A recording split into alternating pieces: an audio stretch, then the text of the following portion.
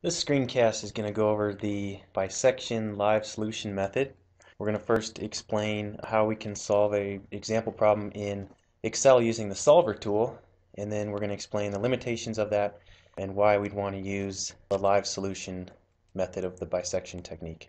Got a spherical tank that's going to be used to store a liquid and the tank is made of metal we can't really see inside of it so what we've got is this uh, glass tube where we can basically see the level of the liquid in the tank. And what we want to do is we want to set it up so that we can put markings on the outside of the glass so that somebody looks at this they can see you know it might read 1000 gallons. And obviously because it's non-linear because of the spherical nature it's not going to be linear scale. So so that's what we're trying to do. We can start this by developing equations volume of liquid in the tank is given by this formula, where big R is the radius of the spherical tank. Height is just the depth from the bottom. The fundamental equation can be rearranged to the following f of x equals 0 form. What we're trying to do is provide v, and we're trying to calculate the height at which that volume would occupy in the tank. This is a cubic equation, it's uh, fairly complicated to solve algebraically. It's going to have three roots. So let's consider an example to uh, investigate the nature of these roots. Let's say we have a radius of 10 feet and a liquid volume of 500 gallons. Okay, we want to know what's going to be the depth of the liquid in the tank when we have 500 gallons in the 10 foot spherical storage tank. So we might plot that equation, height versus the function as a function of height and where that function equals zero is where we will satisfy our equation for that particular volume. So it's going to have three roots. One looks like it's about negative 0.5 meters, one at about a half meter, and another at about 9 meters. The only feasible range is between 0 and about 3.05 meters. Obviously, there's only one feasible solution, and we can neglect the other two roots of this equation. So there's multiple roots, but only one makes sense. So if we confine ourselves to the feasible range, from the, the empty tank to a full tank, there's only going to be one root. Let's use this in Excel. Set it up in Excel. I've got the radius. This is what we're going to input, the liquid volume.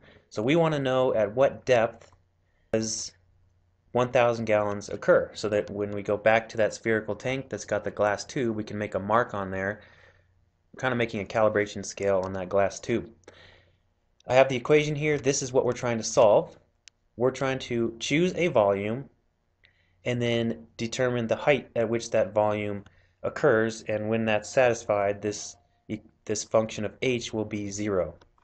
So using solver I can uh, put in this equation okay so I've just put in this equation here I go to the solver and what we're trying to do we're trying to set the objective is cell C10. We're trying to set that to a value of 0. Okay, When that's met for a particular volume, then we're at the correct depth.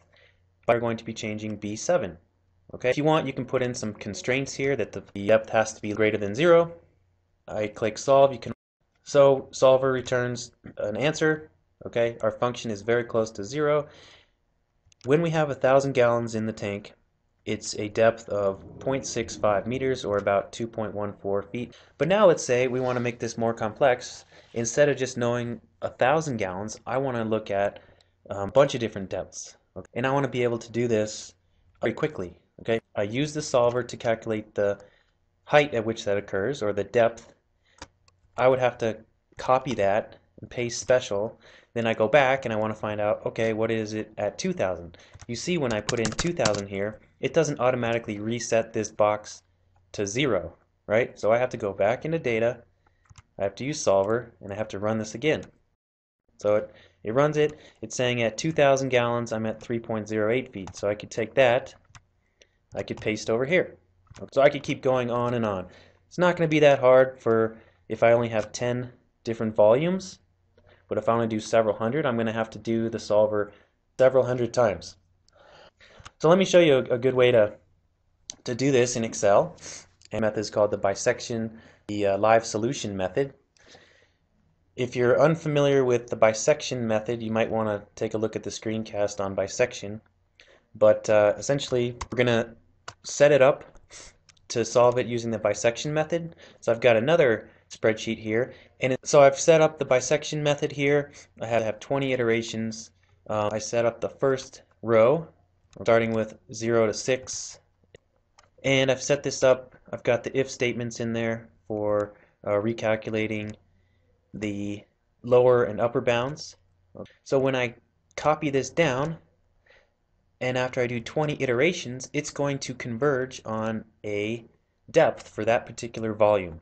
Okay, so right now for the volume I've got 300 gallons, and then I've set a pointer formula here for depth, which is going to take the very end of our 20 iterations. So that's the zero of this equation solved using the bisection method. And you'll see that it calculates a depth of 1.15 feet. Okay. So if I wanted to, I could take that and I could uh, copy that. I paste it over here for 300, paste special.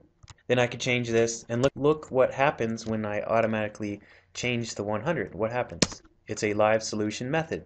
I didn't have to use solver. I didn't have to go into the solver box and redo it because this bisection method is it does it automatically and it does it live. Okay, so at 100 I could copy that if I wanted to, and I could paste special.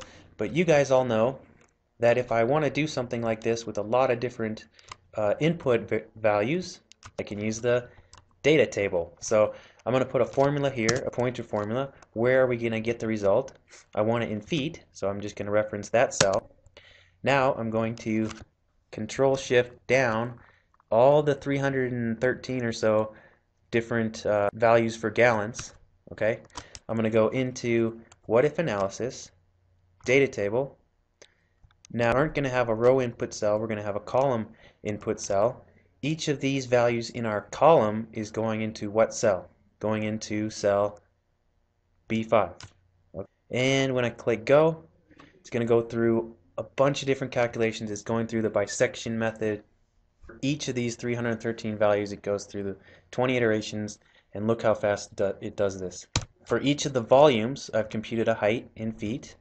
And if I wanted to, I could just go ahead and plot a, a graph of that. Okay, And I could give that table uh, to somebody, and they could go onto that glass tube of our original sphere, and they could put little markings at these uh, depths in feet that would correspond to different volumes.